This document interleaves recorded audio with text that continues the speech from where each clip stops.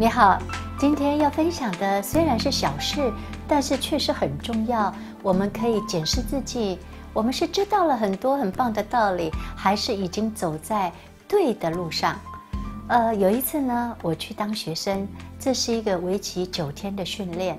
那么大会规定，每天回家睡觉再来报道的时候，都要把名牌戴在左胸前。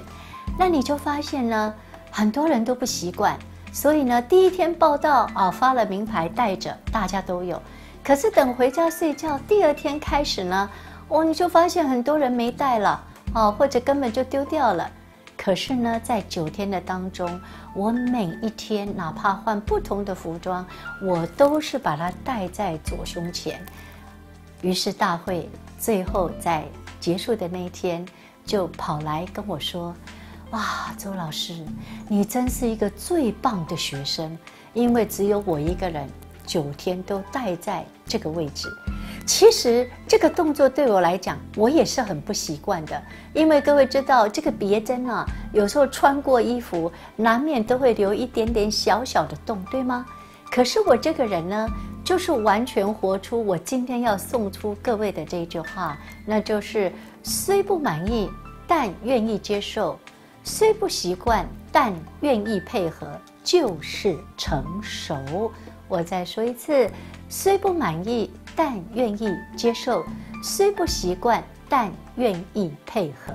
我相信，我们只要是越成熟，我们接受的历练越多，你就会发现，我们好多不习惯，我们公司的政策、主管的做人做事。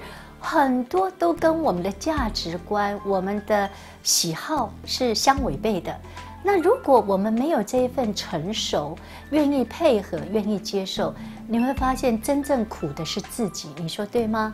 所以呢，我常常都会运用这种细节来检视我自己。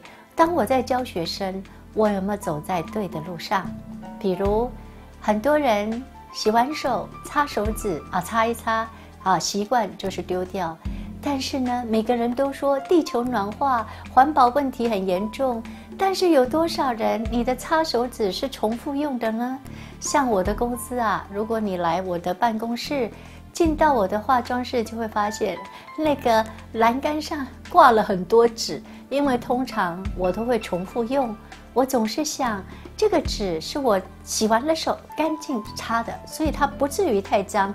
所以我可以重复用，然后呢，当重复用了几次，我还不会丢，我还会折一折拿回家给我家狗狗，有时候擦嘴巴啦，擦脚啦，然后最后我还不会丢，我会再折一折，带它出去遛狗的时候可以夹它的便便。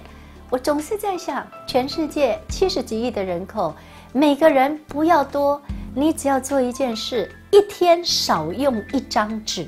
你看这个威力有多大，所以各位，我们不要老是用习惯在做事，我们也要做一些我们不习惯，但是是配合大局的事。你说对吗？有一次呢，我一样去当学生，那个课程是不能回家睡觉，也不能住饭店，而是坐在这个地板上。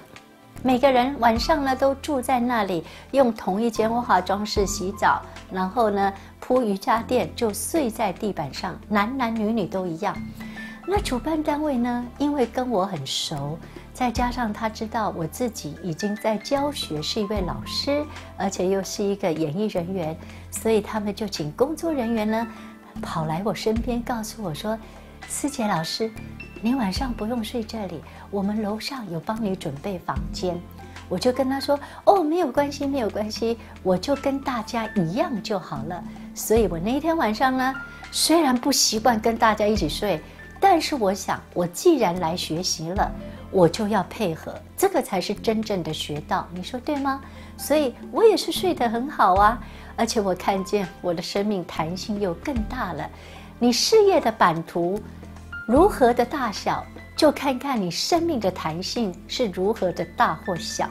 所以今天的这句话，我再度的复诵一遍：虽不满意，但愿意接受；虽不习惯，但愿意配合，就是成熟。